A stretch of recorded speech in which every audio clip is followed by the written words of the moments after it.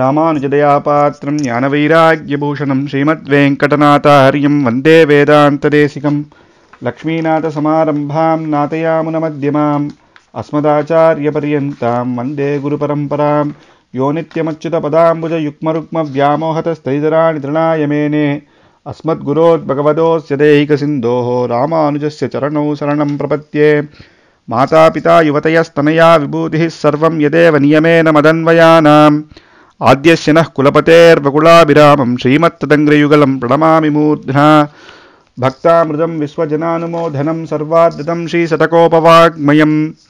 சகசிரசாகோபனிஷத் சமாகமம் நமாமியம் திராவிடவேதசாகரம். ஸ்ரீயப்பதியான பகவான் பரமகிருபையோடே திருமலையிலே அர்ச்சாவதாரமாக அவதரித்து நமக்கெல்லாம் அனுகிரகம் பண்ணிட்டு இருக்கான் பகவானுடைய ரூபங்கள் அப்படின்னு பார்த்தா பரம் வியூகம் விபவம் அர்ச்சை அந்தர்யாமி.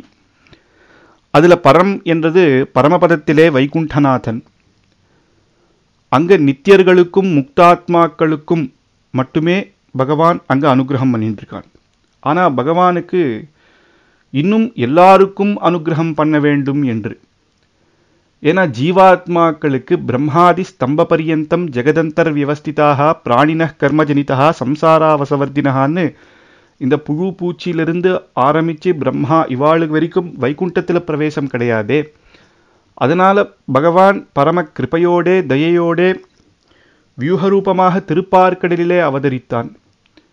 அங்கே தேவர்களுக்கும் பிரம்மாவுக்கும் ஏதாவது கஷ்டங்கள் வந்தாலும் சந்தேகம் வந்தாலும் அங்கே போய் பகவானை சேவிப்பார்கள் பகவான் அவளுக்கு அனுகிரகம் பண்ணுவான்.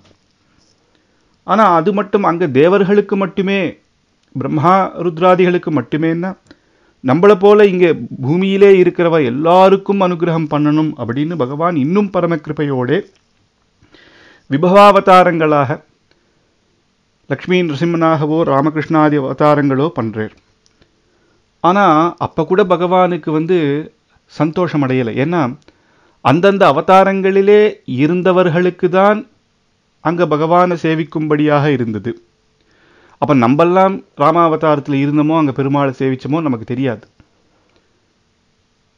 அப்போ அந்த பாக்கியம் நமக்கு இல்லை. அப்போ எல்லாருக்கும் அனுகிரகம் பண்ணணும் அப்படின்னு நிரந்தரமாகவே அர்ச்சாவதார ரூபமாக பகவான் இந்த பூமியிலே அவதாரம் பண்ணி நமக்கு எல்லாம் பரமக்கிருப்பையோடே அனுகிரகம் பண்றான் அதுல முதல் முதல் அர்ச்சாவதார ரூபம் அப்படின்னு பார்த்தா ரங்கநாதன் தான்.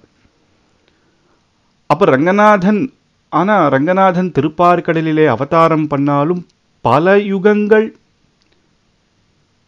பிரம்மலோகத்திலே இருந்தேர் பிரம்மா திருவாராதனம் பண்ணிட்டு இருந்தேர் ஆனா இந்த பூமியிலே அவதரித்து முதல் முதலாக அர்ச்சாவதாரம் எது அப்படின்னா திருவேங்கடமுடியான் தான்.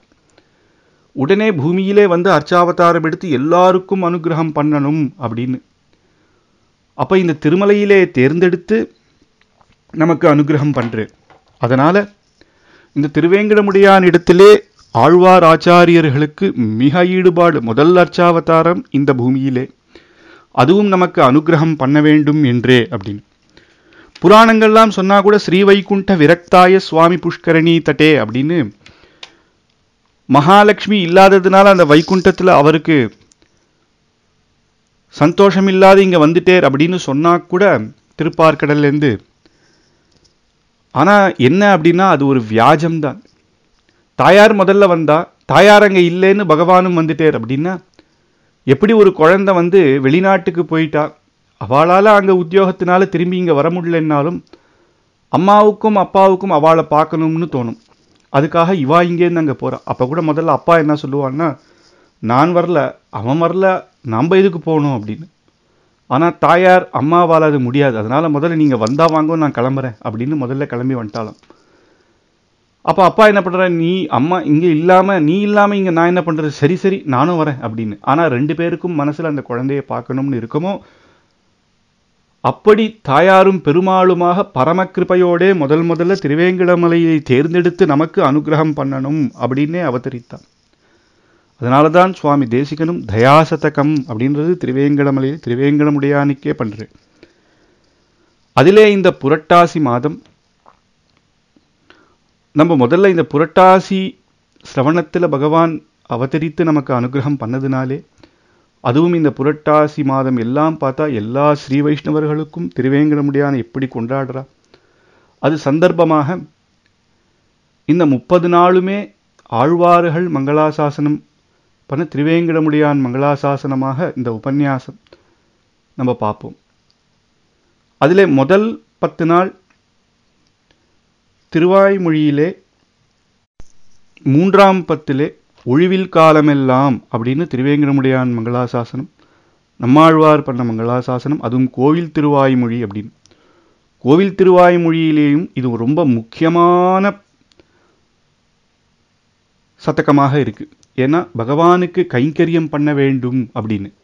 புருஷார்த்தங்கள்னு பார்த்தா தர்மம் அர்த்தம் காமம் மோட்சம்னு நம்ம ஆச்சாரியர்கள்லாம் தர்மம் அர்த்தம் காமத்தை நீக்கி மோட்சமே நமக்கு புருஷார்த்தம் அப்படின்னு நமக்கு காட்டி கொடுத்துருக்கா. அதுலேயும் மோட்சத்திலையும் பிரம்மா அனுபவமே இல்லாம அங்கேயும் கூட பிரம்மானுபவத்தோடே கூடின கைங்கரியம் இகத்திலையும் பரத்திலையும் கைங்கரியமே சாஸ்வதம் அப்படின்றது நமக்கு காட்டி கொடுத்துருக்கா.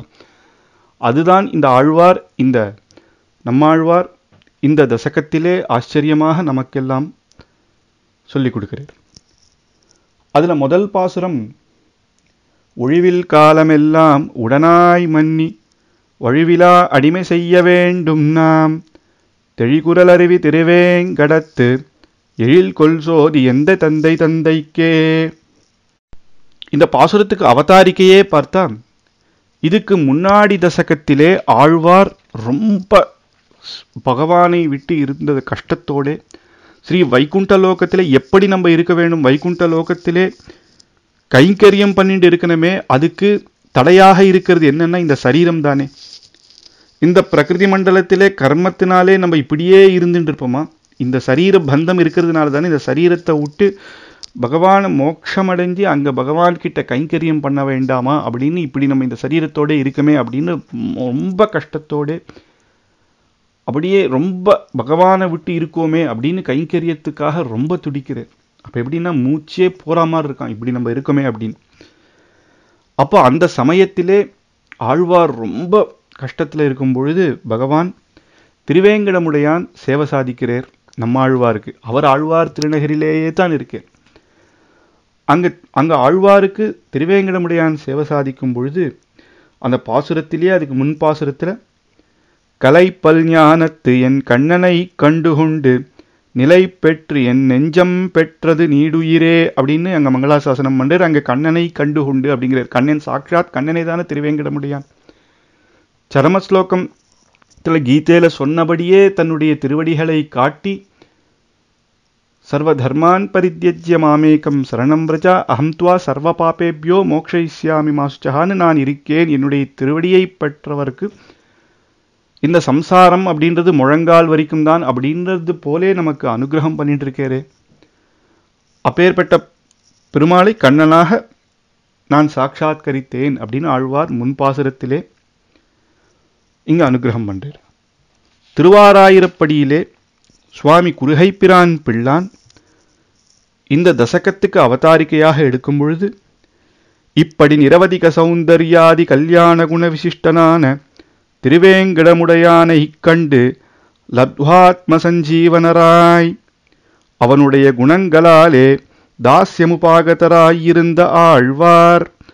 திருவேங்கடமுடையானை புஜிக்க வேண்டும் என்று தம்முடைய திருவள்ளத்திலே கூடி அப்படின்னு நீங்கள் ஆச்சரியமாக சாதிக்கிறேன் இப்படி நிரவதிக சௌந்தரியம் அந்த கல்யாண குணத்தோடே அந்த திருவேங்கடமுடையான சேவிச்ச உடனேயே ஆழ்வார் லப்துவாத்ம சஞ்சீவனராய் அப்படின்னு தன் பிராணமே போகும்படி மூச்சு நிற்கும்படி இருக்கு. எப்படி நம்ம இந்த லோக்கத்தில் இருக்கோம் அப்படின்னு இந்த சரீரத்தை விடணும் அப்படின்னு நினைக்கும் பொழுது ஒருத்தருக்கு பிராணம் போகிற சமயத்தில் அந்த காலெல்லாம் சஞ்சீவன் மிருத சஞ்சீவனி அப்படின்னு சஞ்சீவனி அப்படின்ற அந்த மருந்தை கொடுத்தா அவளுக்கு எப்படி மூச்சு திரும்ப வருமோ குணமாவாளோ அப்படி ஆழ்வாருக்கு அந்த சமயம் கஷ்டத்தில் இருக்கும் பொழுது அப்போ திருவேங்கடமுடையான் சேவை சாதித்தார் எப்படின்னா அவர் சஞ்சீவினி போலே. அப்பதான் அவருக்கு சந்தோஷம் அடைந்தேராம் அங்க வைகுண்டத்துல அங்க இருந்து கைங்கரியம் பண்ணணும்னு நினைச்சேன். அது உண்மைதான். ஆனாலும் அதே அந்த வைகுண்டநாதன் திருவேங்கடமுடையானாக இங்கு அவதாரம் பண்ணியிருக்கிறேன் நமக்காக. பகவான் பரரூபன் பர வைகுண்டத்திலே பரரூபமாக இருந்தா கூட அந்த ரூபம் அவசியம் இல்லை அவளுக்கு என்ன? அவா பகவான அங்க இருக்கிறவர்கள் நித்யாத்மாக்கள் முக்தாத்மாக்கள் எல்லாருமே சர்வஜர்கள் ரூபமே இல்லாட்டி கூட பகவானை வந்து அவளால அனுபவிக்க முடியும். ஆனா நமக்கு அப்படி கிடையாது. அப்ப இந்த இந்த அர்ச்சாவதாரமாக எடுத்தது பகவான் அந்த ரூபம் இன்னும் மிக ஒசத்தி அதனாலதான் அங்க இருக்கிறவாளுக்குன்னா இங்க சொல்லும் பொழுது பெரியவா மீனுக்கு தண்ணீர் வார்ப்பாரை போலே அப்படின்னு தண்ணியில் இருக்க மீனுக்கு மறுபடியும் தீர்த்தம் தாகம் எடுக்கிறதுன்னு கொடுப்பாள் அதுதான் தண்ணியிலேயே இருக்கே. அப்போ வைகுண்டத்துல இருக்கிற ரூபத்தை விட அவளுக்கு அங்க ரூபமே இல்லாட்டி கூட பகவானை தியானம் பண்ணக்கூடிய சர்வஜர்கள் ஆனா இங்கே நமக்கு அப்படி வேற வழியே இல்லை. நம்ம ஒன்றும் அப்பேற்பட்ட ஞானிகள் கிடையாது. நமக்கு இந்த மாதிரி அவதார ரூபமாக இருந்தாத்தானே நமக்கு கைங்கரியமும் பண்ண முடியும் பகவானை தியானமும் பண்ண முடியும். அப்படி நமக்காக அனுகிரகம் பண்ணதுனால இந்த திருவேங்கடமுடியானுக்கே கைங்கரியம் பண்ணணும் அப்படின்னு ஆச்சரியமாக இந்த பாசுரம். ஒழிவில் காலமெல்லாம் உடனாய் மன்னி வழுவிலா அடிமை செய்ய வேண்டும் நாம். தெழிகுரலருவி திருவேங்கடத்து எழில் கொல் சோதி எந்தை தந்தை தந்தைக்கே. பகவானுக்கு ஒருத்தர் எப்படி கைங்கரியம் பண்ணணும் அப்படின்றத இந்த பாசுரத்தில் தெரிஞ்சுக்கலாம். ஆழ்வார் எப்படி உமக்கு கைங்கரியம் பண்ணணும்னு பகவானை வேண்டிக்கும் பொழுது ஒழிவில் காலமெல்லாம் முடிவே இல்லாத எல்லா காலமும்.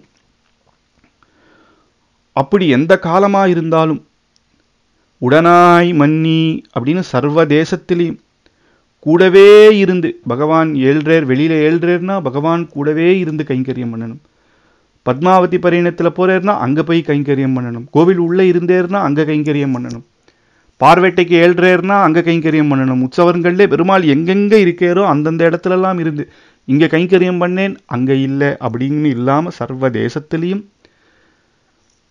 அப்புறம் எந்த காலத்திலையும் வழிவிழா அடிமை செய்ய வேண்டும் அப்படின்னு மிச்சம் வைக்காத விட்டு போகாமல் எல்லா கைங்கரியும் கார்த்தால சுப்பிரபாதத்துக்கு போனேன். ராத்திரி ஏகாந்த சேவைக்கு இல்லை அப்படிங்காமல் சாயங்காலம் ஊஞ்சல் சேவை சேவிச்சேன் தோமாலைக்கு இல்லை அப்படின்னாம எல்லா சேவையும் ஒன்று கூட மிச்சம் பக்கத்திலேயே இருந்து எல்லா கைங்கரியமும் செய்ய வேண்டும் அடிமை செய்ய வேண்டும் நாம் அப்படின்னு. நான் கைங்கரியம் பண்ணணும் அப்படின்னு ஆழ்வார் கேட்கல. ஆழ்வார் எல்லா நமக்கெல்லாமும் சேர்த்து எல்லாரும் வாருங்கோள். நாம் நம்ம எல்லாரும் கைங்கரியம் பண்ண வேண்டும் அப்படிங்கிறது. நம்மளாம் எவ்வளவு பாவம் பண்ணாலும் ஆழ்வார் அந்த ஹிருதயம் என்று கூடியிருந்து குளிர்ந்தேலே ரொம்ப. பரவாயில்ல வாருங்க எல்லாரும் வாருங்க எல்லாத்தையும் இந்த இந்த லோகம் இது சாஸ்வதம் கிடையாது. இங்க இருக்கிறது எதுன்னா பகவான் கைங்கரியமே முக்கியம் எல்லாரும் வாருங்கோள் அப்படின்ற மாதிரி சகல ஸ்ரீ வைஷ்ணவர்களே வாருங்கோள் நம்ம இந்த பகவானுக்கு கைங்கரியம் பண்ணணும் அப்படின்னு சொல்கிறேன் எப்போ அவருடைய கோஷ்டியில நம்மளை சேர்த்துட்டார் எப்பொழுது அகமஸ்மி அபராத சக்கரவர்த்தின்னு நம்ம அத்தனை பாவங்கள் பண்ணியிருந்தாலும் ஆழ்வார் நாம் வாருங்கோள் அப்படின்னு அவருடைய கோஷ்டியிலே நம்மளை கூப்பிட்டதுனாலே என்னவோ நம்ம நம்மாழ்வார் அப்படின்னு நம்ம ஆழ்வார பிரீத்தியாக எல்லாரும் சொல்றோம். அப்படி கைங்கரியம் பண்ண வேண்டும். தெய் குரல் அருவி அப்படின்னு அங்க கம்பீரமான திருமலையிலே அருவிகள் இருக்கு. அந்த அருவிகளோட சப்தமே மங்களகரமாக இருக்கு. அந்த அருவிகள்லாம் நமக்கு என்ன சொல்றதுன்னா ஆழ்வார் எப்படி கூப்பிடுறாரோ வாருங்கோள் கைங்கரியம் பண்ணணும்னு. அந்த அருவிகள் திருமலையிலே கைங்கரியம் பகவானுக்கு பண்ணிட்டு இருக்கு. எப்படி குலசேகர ஆழ்வார் சொல்றாரோ என்பெருமான் பொன்மலையில் ஏதேனும் ஆவேனே அப்படின்ற அருவியாக கூட இருக்கிறேன் அப்படின்றார் இல்லையா? அப்ப அந்த அருவியுமே பகவானுக்கு கைங்கரியம் செய்யறதுனாலே அதெல்லாமே அப்படி அந்த சப்தம் எப்படி இருக்குன்னா வாருங்கோள் நம்ம எல்லாம் கைங்கரியம் பண்ணணும் அப்படிங்கிற மாதிரி இருக்காம். அப்பேற்பட்ட திருவேங்கடத்து வெங்கடாத்ரியிலே எழுந்திருந்த பெருமாள் எழில் கொல் சோதி எழில் கொல் சௌந்தரியமான திவ்யமங்கள விக்கிரகமாம் தேஜோமயமான அர்ச்சாவதாரமாக பகவான் நமக்கு சேவை சாதிக்கிறேரே. எந்தை தந்தை தந்தைக்கே அப்படின்னு அவன் யார் அப்படின்னா தந்தை தந்தை தந்தை என் சுவாமி சுவாமி சுவாமி எல்லாருக்கும் சுவாமி ஆதி காலமாக எல்லாருக்கும் சுவாமி. சகல காரணத்துக்கும் காரணபூதமாக இருக்கிற அந்த சௌந்தரிய திவ்யமங்கள விக்கிரகமாக திருவேங்கடமலையிலே இருக்கிற திருவேங்கடமுடையானுக்கு எல்லாரும் சர்வதேச சர்வகால சர்வாவஸ்தோச்சித கைங்கரியம் பண்ண வேண்டும் எல்லாரும் வாருங்கோள் அப்படின்றது இந்த பாசுரத்தினுடைய தாத்பரியம். ஆழ்வார் தாம் மட்டும் கைங்கரியம் பண்ணணும்னு சொல்லலை. அதனால சுவாமி குருகைப்பிரான் பிள்ளானும் வியாக்கியானம் பண்ணும் பொழுது அதுக்கு துணையாக தம்முடைய திருவுள்ளத்தையும் தம்முடைய திருவள்ளும் போலே பகவதேக போகராயிருப்பாரையும் குறித்து திருவேங்கடமுடையானை புஜிக்க வாருங்கோள் எல்லாரும் ஆழ்வார் தன்னுடைய முதல்ல தன்னுடைய மனசை கூப்பிடுறார். ஏன்னா மனசு ஸ்திரமாக இருந்தால் மற்ற இந்திரியங்கள்லாம் மனசு போல போக்கில் போகும். மனசு எங்கேயோ இருந்தாலும் ரொம்ப கஷ்டம். நம்ம ஏதோ பார்த்துட்டே இருந்தால் கூட மனசு எங்கேயோ இருந்தால் எப்படி இருக்கும். அப்போ தன்னுடைய திருவுள்ளத்தை முதல்ல கூப்பிடுறார். அதே போல அதே போல இருக்கிற சகல பாகவதோத்தமர்களும் எல்லாரும் வாருங்கோள். திருவேங்கடமுடையானை புஜிக்க வாருங்கள். அப்படின்னு புஜிக்க வாருங்கள் அப்படிங்கும் பொழுதே அந்த ஆழ்வாருடைய அப்பேற்பட்ட அனுபவத்தை காட்டுறது. புஜிக்க வாருங்கள் அப்படின்னா கைங்கரியம் பண்ண வாருங்கள். அவனை புஜிக்கையாவது அப்படின்னா அவன் திருவடிகளிலே சர்வதேச சர்வகால சர்வாவஸ்தோச்சித சர்வ சேஷவிருத்தியையும் பண்ணுகை என்கிறார் அப்படின்னு. சர்வதேச சர்வகால சர்வாவஸ்தோச்சித அப்படின்னு.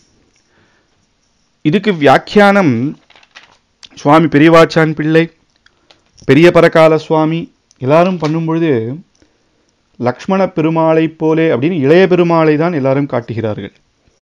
ஸ்ரீ ராமாயணத்திலே லக்ஷ்மணன் சொல்றார் அகம் சர்வம் கரிஷ்யாமி ஜாகிருதா ஸ்வபதச்சதே அப்படின்னு எல்லாம் அந்த வனவாசத்திலே ராமர் போறேன்றார். அவர் பித்ருவாக்கிய பரிபாலனத்துக்காக போறார். அங்க கைகேயி அம்மா லக்ஷ்மணன் போகணும்னு அங்க ஒன்றும் கேட்டுக்கலையே தசரதர்கிட்ட ஆனாலும் தான் கூடவே போய் கைங்கரியம் பண்ணணுன்ற எப்பேற்பட்ட கைங்கரியம்னா அகம் சர்வம் கரிஷாம் எல்லாம் பகவான் ராத்திரியிலே தூங்கினா கூட வெளியில காவலனாக இருக்கு. அவர் பதினாலு வருஷம் ஒரு க்ஷணம் கூட படுத்துக்கல. பகவானுக்கு கைங்கரியமே ராத்திரியாக இருந்தாலும் பகலாக இருந்தாலும் எந்த காலமும் பார்க்காம. எப்பேற்பட்ட கைங்கரியம்? எல்லா கைங்கரியமும் பண்ணார் ஓடம் கட்டுறதுலேருந்து அங்கங்க பகவான் தங்கறதுக்கு குடிசை போடுவதிலேருந்து எல்லா கைங்கரியமும் அந்த வில்லு அம்பு எடுத்து வைக்கிறதுலேருந்து எல்லா கைங்கரியமும் பக இது கைங்கரியம் தான் நான் பண்ணுவேன். நான் வந்து பகவானுக்கு கொடைதான் போடுவேன். ஆனால் நான் கோவில் பெருக்க மாட்டேன் அப்படின்னு கிடையாது. ஏன்னா கைங்கரியத்தில் இது ஒசத்தி இது தாழ்த்தின்னு கிடையாது. அர்ச்சகாலிருந்து வெளியில் இருக்கிற எல்லா கைங்கரிய கைங்கரியபர்கள் எல்லாம் ஒரே தான் பகவானுக்கு எல்லாமே வசதி தான் கைங்கரியத்தில் ஏற்றத்தாழ்வே கிடையாது. அதே மாதிரி சர்வாவஸ்தோச்சித்து எந்த விதமான கைங்கரியமாக இருந்தாலும் எப்பேற்பட்ட அவஸ்தையில இருந்தாலும் எந்த எதுவும் மிச்சம் விடாம அந்த கைங்கரியத்தை பண்ணணும் அப்படி. இப்பேற்பட்ட கைங்கரியம் ஏன்னா லக்ஷ்மணர் கூட நினைக்கிறாராம் கைகேயி பதினாலு வருஷம்தானே கேட்டிருக்கா? ஏன் இது ஒரு நூறு வருஷம் கேட்டிருக்க கூடாதா? அப்படிங்கிறாராம். ஏன் அப்படின்னா இதே அயோத்தியில இருந்தா கூட இப்பேற்பட்ட கைங்கரியம் பண்ண முடியுமான்னு தெரியல. ஏன்னா அங்கே நிறைய பேர் ராமருக்கு இருக்கா? கைங்கரியம் பண்ணுறதுக்கு தலிகை பண்ணுறதுக்கு சில பேர் இருக்கா? கொடை போடுறதுக்கு இருக்கா? லக்ஷ்மணர் விடமாட்டா அவரும் ராஜாவாச்சே யுவராஜாவாச்சே. பரத சத்ருகன் எல்லாரும் ராஜா. நான் ராஜா நீர் உட்காரும் நாங்கள் பண்ணுறோம் நாங்கள் பண்ணுறோன்னு வந்துடுவா இங்கே போட்டியே கிடையாது. எப்பையும் கைங்கரியம் பண்ணலாம் பகவானுக்கு. அதனால் இது இன்னும் நிறைய வருஷம் இருக்கக்கூடாதா அப்படின்னு நினைக்கிறாராம். அப்படி ஆச்சரியமான கைங்கரியம் லக்ஷ்மணர்.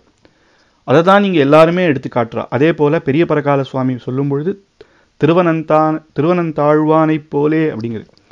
பகவான் ஏகாந்தமாக தாயார் பெருமாளுமாக ஏகாந்தமாக இருந்தா கூட அவர் ஆதிசேஷன் படுக்கையாக இருக்கார் இல்லையா? அந்த மாதிரி ஏன்னா குழந்தை அம்மா அப்பா குழந்தை. அதனால அப்படி இருந்து கைங்கரியம் பண்ணணும் அப்படி. அதனால தான் அவர் ஆதிசேஷன். நம்ம எல்லாமே சேஷன் பகவானுக்கு. அவர் ஆதிசேஷன். அவரை பார்த்து தான் நம்ம கைங்கரியத்தை கத்துக்கணும் அப்படின்னு.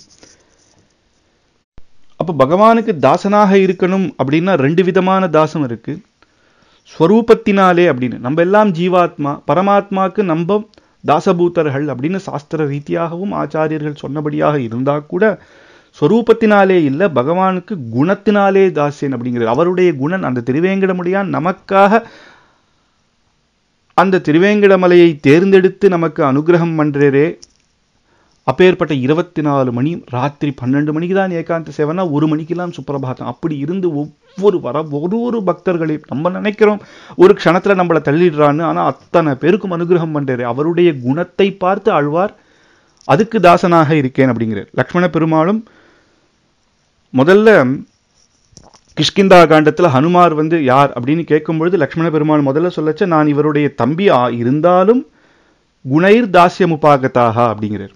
அப்படின்னா நான் தம்பி அதனால நான் இவருக்கு தாசன் அப்படின்னு கிடையாது. இவருடைய குணத்தினாலேயே நான் எப்படியும் தாசன் அப்படி. தம்பியா இருக்கிறவர் அண்ணாக்கு கைங்கரியம் பண்ணணும் அப்படின்னு இருந்தா கூட அதுக்காக மட்டும் இல்லை. இவருடைய குணங்களுக்கு நான் தம்பியா இல்லாட்டி கூட இவர் குணத்துக்கு நான் தாசனாகத்தான் இருப்பேன். அப்படி. அந்த மாதிரி திருவேங்கடமுடையான் அப்பேற்பட்ட பரபிரம்மம் நம்ம நம்ம அவனுக்கு கைங்கரியம் பண்றது நம்ம ஸ்வரூபம் அப்படின்றது மட்டும் இல்லாமல் ஆழ்வார் அவருடைய கருணையே பார்த்து அந்த கருணையினாலேயும் நம்ம தாசியனாக இருக்கணும் அப்படின்னு நமக்கு இங்க காட்டுறார். அந்த கருணையை சாக்ஷாத் சுவாமி வியாக்கியானம் பண்ணும் பொழுது திருமங்கை ஆழ்வார் காட்டி கொடுத்த சிறிய திருமடலிலே முயலை விட்டு காக்கை பின் போவதேன்? அப்படின்றத எடுத்து நமக்கு காட்டு அப்போ அந்த முயல் அப்படின்றது கீழே இருக்கும் பொழுது ஒரு வேடுவனுக்கு முயல் கீழே இருக்கிறது பிடிச்சின்னு போகிறது ஈஸியா காக்கா மேல ஆகாசத்துல சுத்துறது பிடிக்கிறது ஈஸியாக சுலபமா? முயல் தானே. அப்போ முயலும் இன்னும் ருச்சியாக இருக்கும் அவனுக்கு. அந்த மாதிரி பகவான் அவர் வைகுண்டத்திலே காக்காவாம். வைகுண்டத்திலே இருந்தா கூட அவர் யார்? முக்தாத்மாக்களுக்கும் நித்தியர்களுக்கும் தானே. ஆனால் அதே பகவான் இங்கே நமக்கு முயலாக கீழே இருந்து நமக்கு அனுகிரகம் பண்ணுறார் இவரை விட்டுட்டா அப்புறம் என்ன வைகுண்டம் அப்படின்னு. அது இன்னும் திருமங்கை ஆழ்வார் இன்னும் இதுவாகவே சொல்கிறார் என்னன்னா திருவேங்கடமலைக்கு போனேன் திருவேங்கடமுடையான சேவிச்சுட்டு வந்து ஆஹா ஆச்சரியமான சேவை அப்படின்னு சொல்றவா இருக்கா? பத்ரிகாசிரமம் போனேன். அந்த பத்ரியில அப்பேற்பட்ட நாராயணனை சேவிச்சுட்டு வந்த எப்படி இருக்கு தெரியுமா அப்படின்னு சொல்றவா இருக்கா? நான் வைகுண்டத்துக்கு போனேன். அங்கே வைகுண்டத்துல எவ்வளவு ஆச்சரியமா இருக்குன்னு திரும்பி வந்து யாராவது சொல்லியிருக்காள? அதனால அதை பத்தி நம்ம ஏன் யோசிக்கிறோம்? அதே பகவான் இங்க நமக்கு சேவை சாதிக்கும் பொழுது இவருக்கு இங்கேருந்தே கைங்கரியம் பண்ணணுமே அப்படின்னு.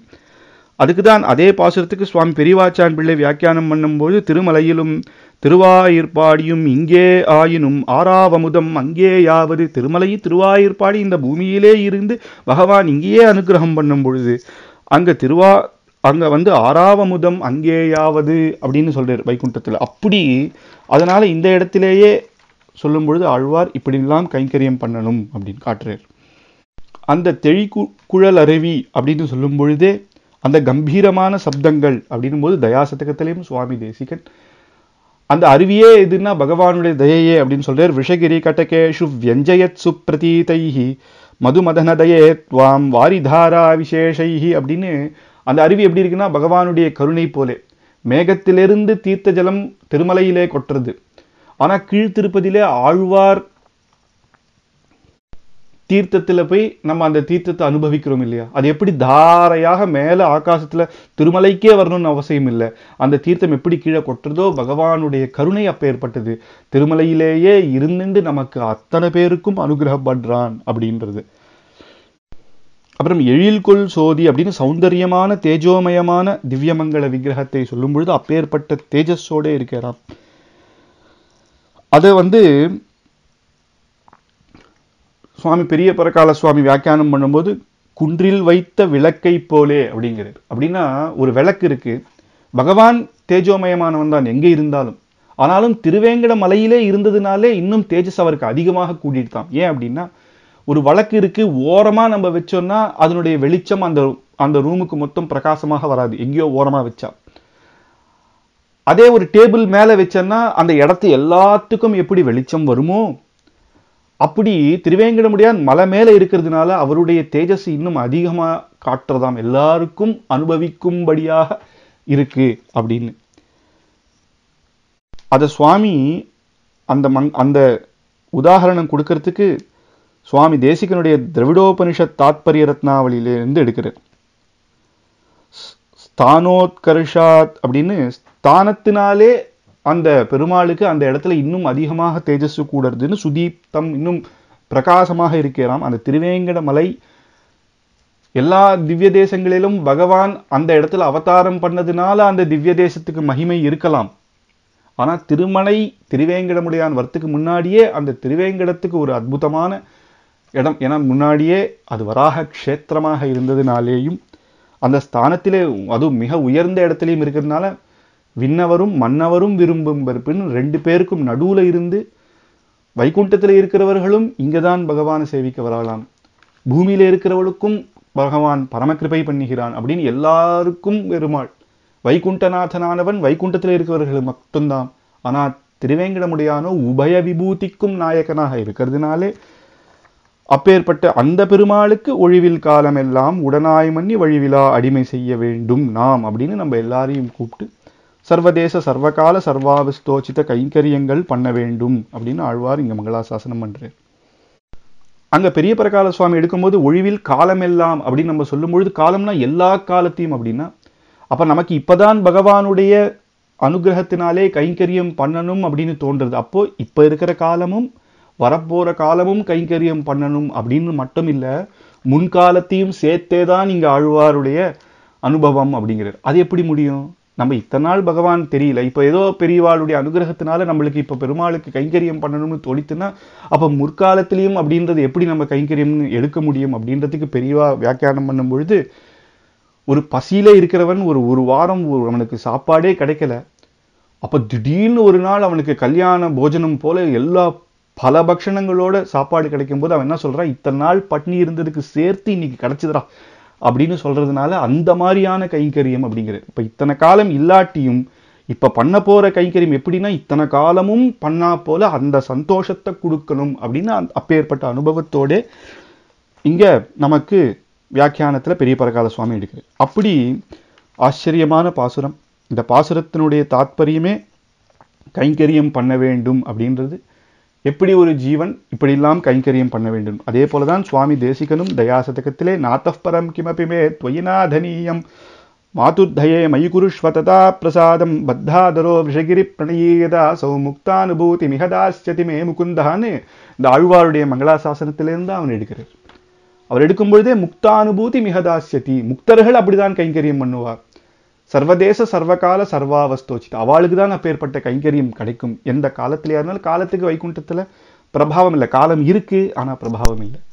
காலம் அப்படின்னு சொல்லும் பொழுதே காலம் எப்பயுமே இருக்கும். அனாதி காலமாக இருக்கிறதுனால சர்வ காலத்திலையும் நமக்கு கைங்கரியம் வேணும். எந்த அவஸ்தேலியா இருந்தாலும் அவளை கைங்கரியம் பண்ணுவா. அதே மாதிரி சர்வ தேசத்திலும் எங்கே இருந்தாலும் எந்த தேசத்திலையும் அவள் கைங்கரியம் பண்ணுவாளோ அதே போல கைங்கரியம் முக்தானுபவம். தாசியதி மே முகுந்த. எனக்கு இங்கே திருவேங்கடமலையிலேயே குடு அப்படின்னு தேசிகன் பிரார்த்திக்கிறார். அப்படிதான் ஆழ்வார் காட்டி கொடுத்தா போலே அந்த மங்களாசாசனமும் அமையுது இதே போல நாளைக்கு அடுத்த பாசுரம். எந்தை தந்தை தந்தை தந்தை தந்தை கும்முந்தை என்ற பாசுரத்தை நாளைக்கு அனுபவிக்கலாம். கவிதார்க்கிக சிம்ஹாய கல்யாண குணசாலினே ஸ்ரீமதே வெங்கடேஷாய வேதாந்த குரவே நமஹா.